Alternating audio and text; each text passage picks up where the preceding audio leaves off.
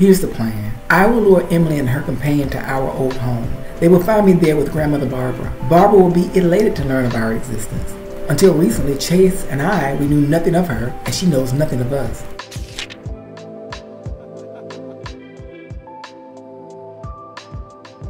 Miriam had secretly bet on Chase and Chance wanting to return home once they learned they had a blood relative. She felt strongly that the twins would be elated to having a living paternal connection to their true father. We will be the only living relatives who can carry out the family lineage. She will learn exactly how Stanley died. She would then confront Emily, who she loves dearly.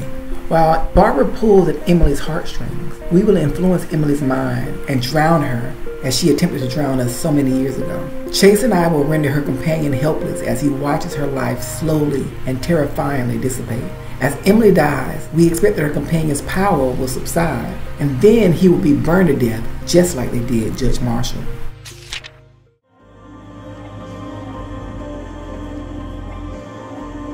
Chase explained to Dolores the details of the plan and provided a warning. It's going to happen so quickly. I want you to be ready to leave at a moment's notice. Enough talk about this horrible witch. How's the food?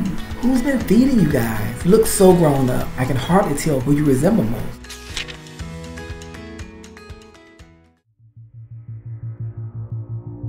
Donald took the form of one of the twins and reenacted the conversation he had overheard. Emily was quite impressed with Donald's abilities, but equally infuriated realizing that the boys had survived and thrived over all these years. She took great care to observe how much the boys had grown. This was impressive. To her, they equally shared the looks and mannerisms of both of their parents. They had their mother's ginger curly hair and her chin. They had the eyelashes, eyes, and smile of their father.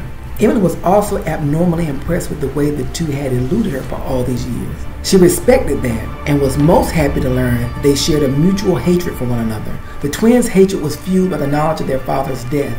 Emily's hatred was fed by the idea that they even existed at all. They were the living biological heirs to their father. They were the beloved, even from the grave, of their dead grandfather. Emily hated that thought. They were living and breathing while her son was dead, brought back to life only by magic and relegated to a life of poor existence.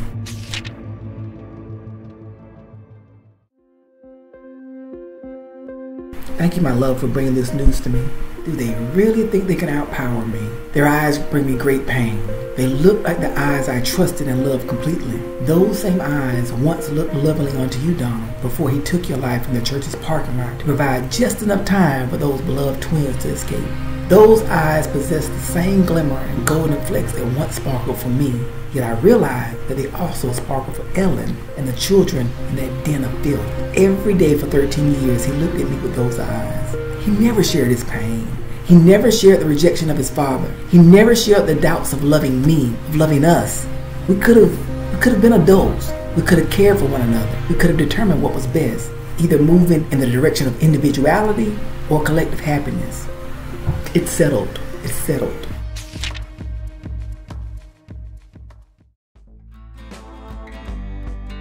Donald didn't contribute to any part of her conversation. He didn't attempt to answer her. He didn't even ask what she meant when she said it's settled.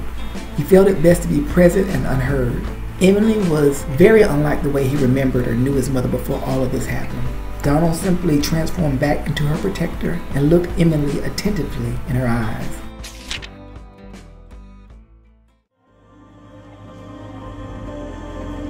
I will kill the strong one and remove the eyes of the weak one. Neither of them can have my husband's eyes. Since I lost one child, he'll lose one child in death. I hope Stanley and his father look up from hell and scream, that they turn in their graves. The cat looked on.